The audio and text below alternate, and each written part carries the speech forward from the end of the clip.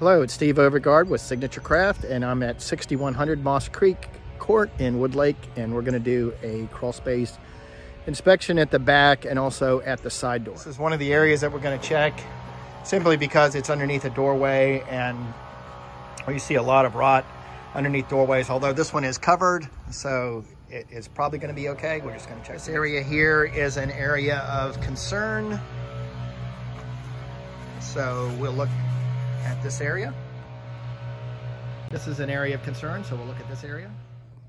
And this would be an area that would be suspect as well.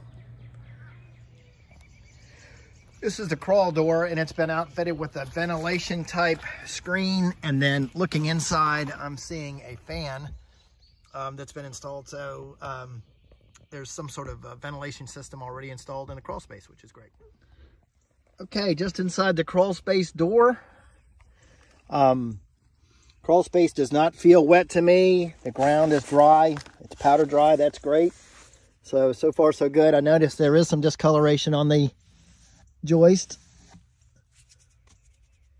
At this section of the house, the joists are 2 by 8 and the spacing is 12 inches on center.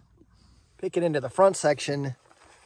The spacing is different. I'll get a measurement on these joists because they're different. I just pulled a measurement on that and the front is 2 by 8 joist with 16 inch centers.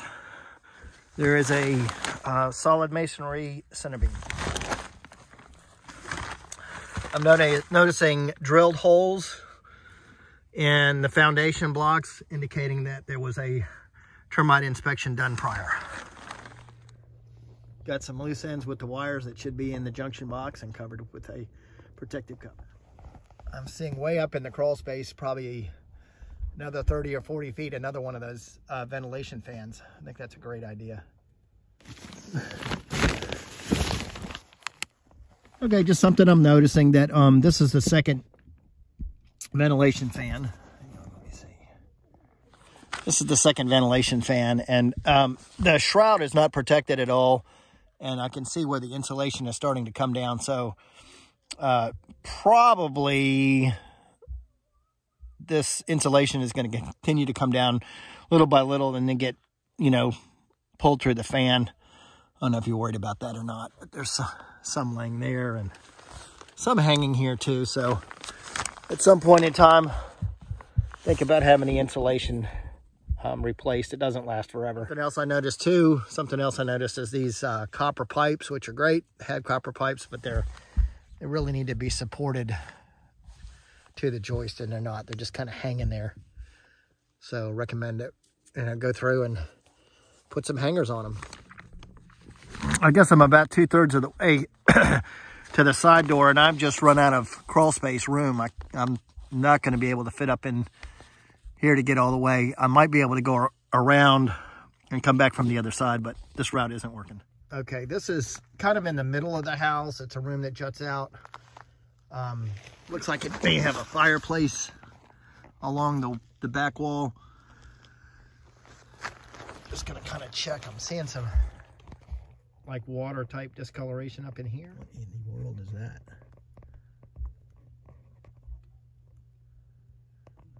Yeah. Okay. This is in that corner of that room and see right here, there's some deterioration in that sill plate. Not terrible, but it's it's looks looks wet, number one. And it's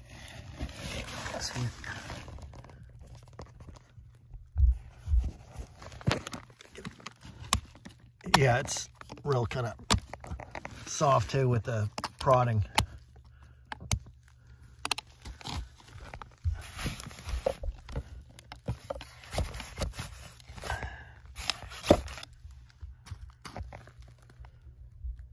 the thing to do be probably to cut that, um, support this, cut this out here, and then we could go from here to here with solid block and then and then put it put another piece back in there. Just really tricky working spaces. Looking up in the cavity there. Doesn't look bad at all. Okay.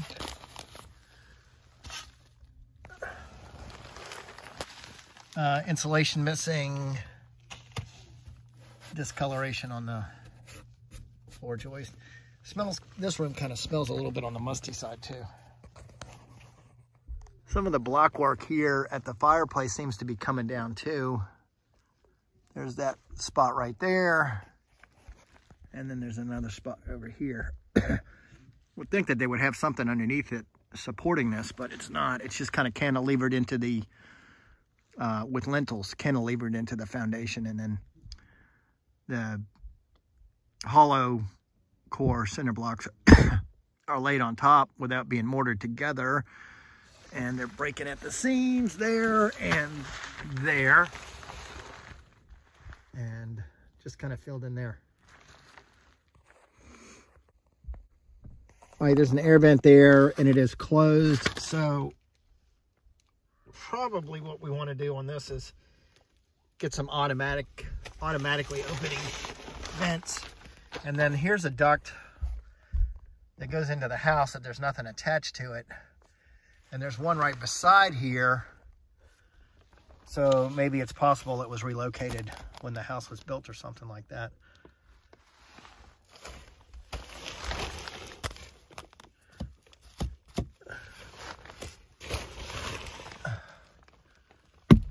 Not finding any rot here, but lots of discoloration. and rust. It's damper. This crawl space area here is a lot damper than the rest of it. Let's see how the the soil is not not wet.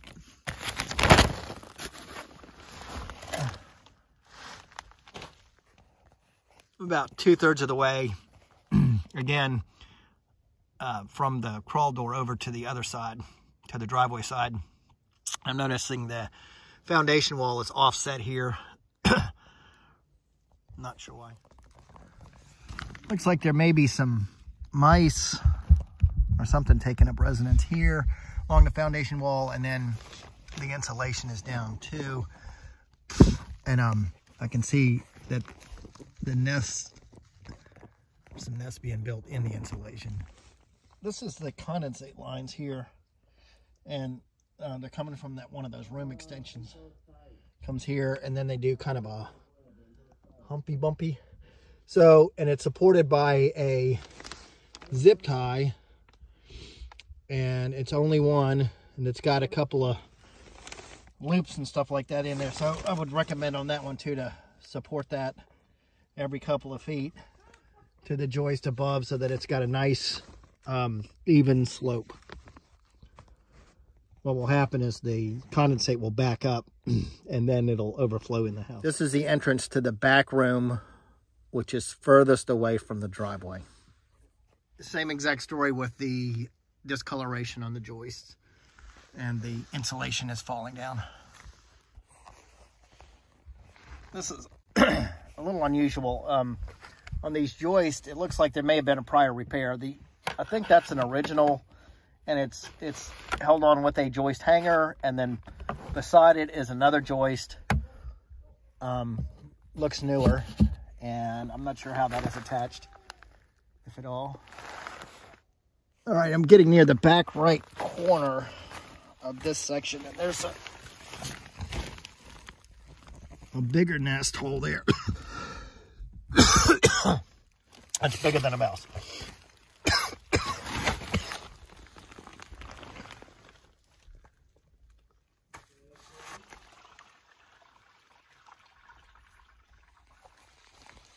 Okay, on this end, this goes back to the prior repair, so really it's not that horrible. Um, on this end, what's happened is this is the uh, joist end, and you can see it's had some deterioration here. So they laid another joist alongside of it. they got it up on the sill plate, which looks fine. No problem there. And then they ran it the, the length of the um, room, which is fine. Again, no problem there. And then they tied it in with the Tico at that end. The issue with that, in my mind, is that the Tico is really only held um, to that beam wall with two or three tiny little nails. Um, however, the deterioration is only on this end, so it's a little bit of an overkill as far as the repairs go.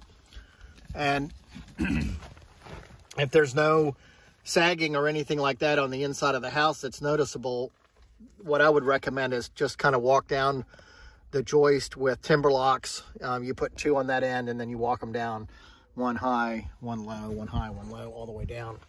Um, the length of the the length of the joist. But it's not terrible. and you can see this joist end here is just deteriorated horribly, but they've got the new one alongside of it, so it's okay.